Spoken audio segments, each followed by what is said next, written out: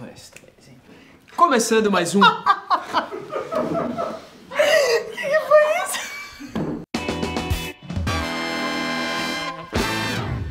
Começando mais um prato do dia. E a receita de hoje é um espaguetine com creme de cogumelos que, ó,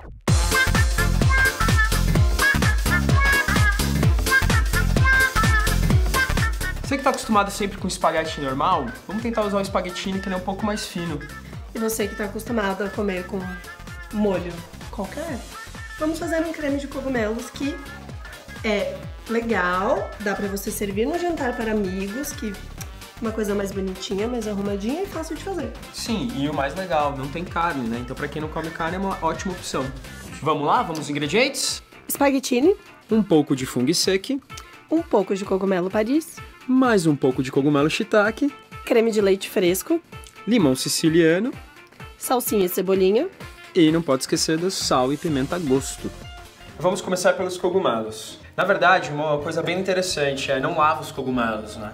Porque ele já tem muito líquido, então ele vai ficar mais molhado ainda e vai cozinhar. Aquela inchada. Uhum. Cogumelo, ele tem terra, tudo. Então você não precisa lavar, ah, vou lavar. Não, ó, essa tática aqui é muito boa. Você pega, você tira, ó. Tcharam! Vai descascar cogumelo por cogumelo? Sim. Sério? Sério, cara. Precisa Ué. mesmo? Se você quiser comer terra, não. Você, quer, você gosta de comer terra? Não, você mas gosta de comer lavar, terra? então? Só que aí se você lavar, ele vai aguar, vai ficar mais difícil, vai perder mais tempo na panela do que descascando. Para de ser preguiçosa.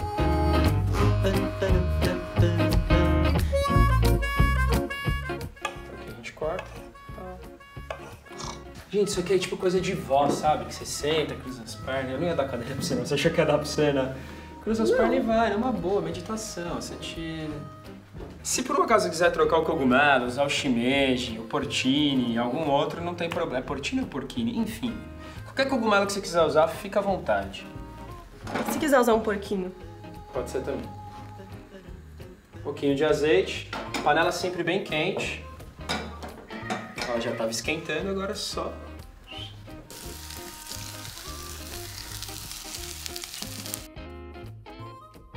Nossos cogumelos já estão praticamente prontos. A gente põe um pouco de sal, um pouquinho de pimenta do reino. Aí a gente já desliga e pode jogar um pouquinho de salsinha e cebolinha. Agora o fungo seco, a gente vai colocar numa panela com água e deixar ele cozinhar pra ele soltar o sabor e fazer um caldo. Bom, enquanto o nosso caldo de cogumelos tá aí, né? Reduzindo, reduzindo soltando o sabor, Vamos reduzir o creme de leite fresco. que vocês já viram no episódio do Strogonoff. Se não viu, enquanto o nosso caldo de cogumelos está ali fazendo, o creme de leite reduzindo, o que a gente faz agora, Luanda? Vamos fazer uma coreografia? Sério? Ou a gente pode sumir. Por que a gente vai sumir? Eu sumi? Por quê? Não. Ai. 45 minutos depois, caldo pronto, creme de leite reduzido, a Luanda dançando. Vamos finalizar o creme. Então, você pode ver, ó, que o caldo de cogumelo ficou bem escuro, ele soltou bastante o, o sabor do fungo. E aí agora a gente coloca no creme de leite fresco. A hora que você juntar o caldo de cogumelo no creme de leite, ele vai ficar líquido de novo por causa do caldo. Então você deixa mais uns 10, 15 minutinhos no fogo pra ele reduzir de novo e ficar bem cremoso. Nosso creme de cogumelos está pronto, então a gente tempera agora com um pouco de sal, põe um pouquinho de limão siciliano, põe a mão embaixo para não cair as sementes. Então nosso creme de cogumelos já está temperado e agora é só cozinhar a massa.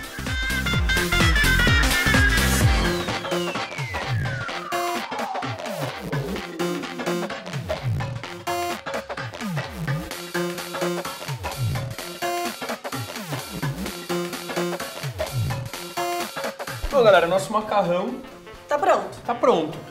E aí, como é que você sabe se ele tá al dente ou não? Nossa, boa ou não? Se tá al dente ou não? olhar, O ponto dele. o que vai fazer? Não sei, cara. Minha avó fazia isso, falava que tinha que fazer. Você pega o macarrão, assim. Ela falou que se grudasse na parede é porque tava bom. Quer tentar? Não. Calma! Não tem que tirar logo ele daqui? Ah, vai passando ponto. Que... Isso da parede é técnica de vó e tal, mas morde melhor e vê se tá no ponto. Isso é só uma brincadeira.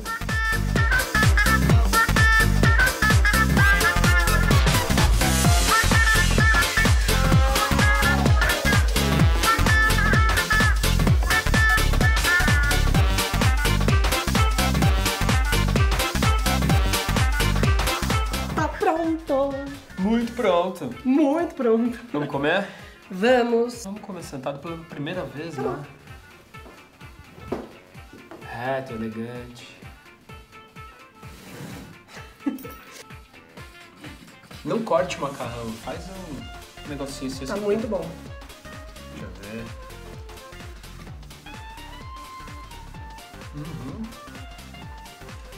Eu acho que todo mundo tinha que fazer em casa. Marcar com a hashtag série prato do dia. Eu sei que já tem bastante gente fazendo as outras receitas, então, Sim, a gente viu então eu quero ver a sua receita. essa receita e marca a gente quando você fizer a receita, morrinde, torrada, torrada, Luana Gazzoni, enfim, não sei. É Aliás, sempre torrada, torrada. É torrada, torrada, é isso? Então tá, então a Luana definiu, ela é tipo a torrada torrada, entendeu? É tipo um personagem e ela vai levar isso pro resto da vida dela. A neta dela vai chamar ela, vovó torrada torrada, tipo isso, não? Não, não acredito. Ah, então vai acontecer. Se inscreve no canal da Taste Made Brasil, segue a Taste Made Brasil no Instagram, arroba TasteMadeBR, que aí você vai ficar por dentro de todas as novidades, vai saber quando tem vídeo novo, quando tem receita nova. E ficamos por aqui com mais um prato do dia.